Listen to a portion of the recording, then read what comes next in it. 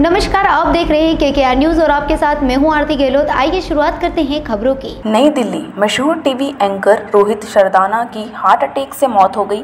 वहाँ corona virus से भी संक्रमित थे। नोएडा में एक अस्पताल में उनका इलाज चल रहा था। वहाँ लंबे समय तक जी न्यूज़ में थे। इस समय आज तक चैनल में सेवाएँ दे रहे थे।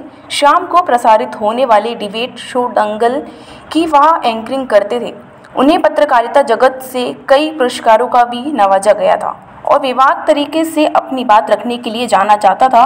पत्रकारिता और राजनीति के कई बड़े चेहरों ने ट्वीट करके उन्हें श्रद्धांजलि दी है। एक वरिष्ठ पत्रकार ने लिखा था कि रोहित, सरदाना के निर्धन की खबर सुनकर मेरे हाथ कांपने लगे। कोरोना वायरस ऐसा करेगा ये कल्पना नहीं की थी। इसके लिए मैं तैयार नहीं था। ये भगवान की नाइंसाफ़ी है। हमारे चैनल में बने रहने के लिए हमारे चैनल को लाइक, शेयर और सब्सक्राइब करना ना भूलें।